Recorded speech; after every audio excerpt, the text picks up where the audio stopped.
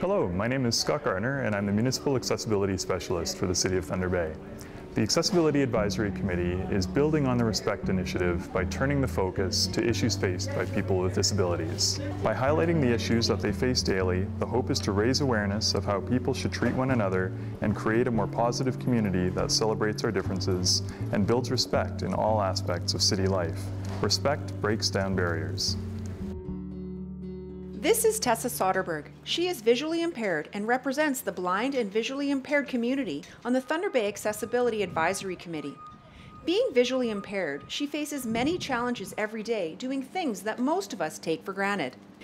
Um, as, as people who are visually impaired, we face all kinds of barriers and, and challenges simply around everyday items that everyday events that most people take for granted from um, you know getting to and from places to uh, accessing places to to reading mail and documents and just about everything you know can can prove uh, to be a barrier if uh, accommodations aren't made.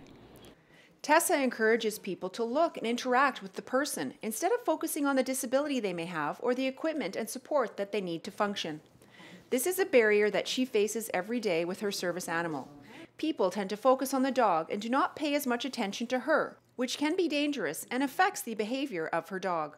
Trying to um, get people to understand that I need them to listen to me while they're they're actually trying to make eye contact or wanting to distract the dog who is busy doing her job and isn't supposed to be interacting with the public.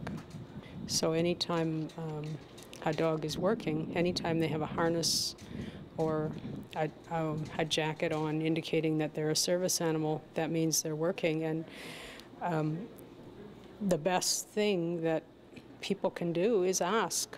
To me, that's just um, common respect, just to to ask first before doing that, because by not asking, you're putting that person and that dog's safety at risk by distracting them.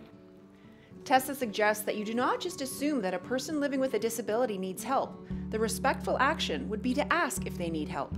It's it's important that everybody be allowed being able to do everything that they can for themselves. And if they want help, or if you think they need help, I mean, eh, most people will ask for help, and, and if you think that somebody who is blind would like you to open the door for them, then ask them.